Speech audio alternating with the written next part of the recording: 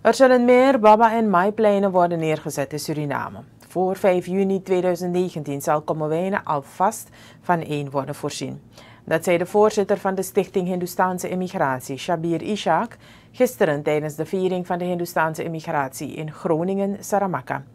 Het monument van Groningen is bij deze gelegenheid ook opnieuw in gebruik genomen nadat het een renovatiebeurt heeft ondergaan. De activiteiten in Groningen trokken ook de aandacht van politieke toppers van zowel de oppositie als de coalitie.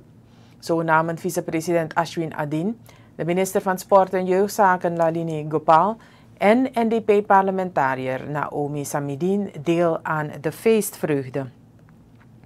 Terwijl ook oppositieleider Chan Santoki en VHP-parlementariër Mahinder Yogi zich van hun goede zijde lieten zien, kan hetzelfde worden gesteld van districtscommissaris Lakshmi Narain Dubey en Mike Nerkust. Toen Ishak aankondigde dat ook Kommerwijnen een Baba en Maiplein krijgt, is dit met luid gejuich ontvangen.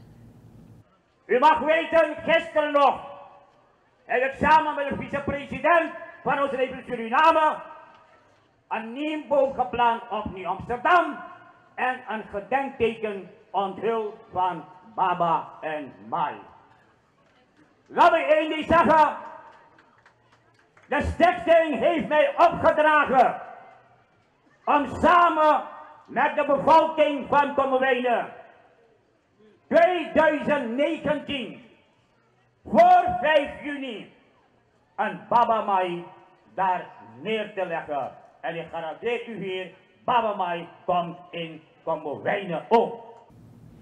Vicepresident Ashwinadin bracht het publiek in herinnering dat toen de immigranten hier in Suriname aankwamen, ze slechts 100 gulden in handen kregen. Ondanks het karg bedrag hebben ze toch een leven in Suriname gesticht, benadrukt Adin. Welzijn is welvaart, plus die behoeftebevrediging die je aan mensen kunt geven zonder dat het geld kost. Een schoon natuur. Je zegt een spiritueel district.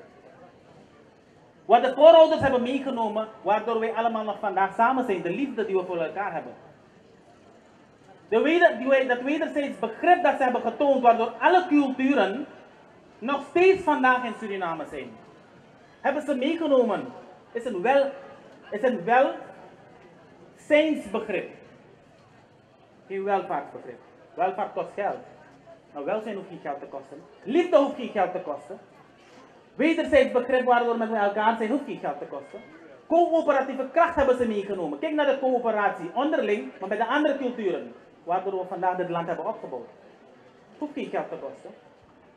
Maar ook interafhankelijkheid, het besef dat we elkaar nodig hebben, hebben ze ook meegenomen. Want er zijn andere naties die uit elkaar gerukt zijn. Vicepresident Ashwin dien gisteren tijdens de herdenking van 145 jaar Hindustaanse immigratie in Groningen, Saramaka.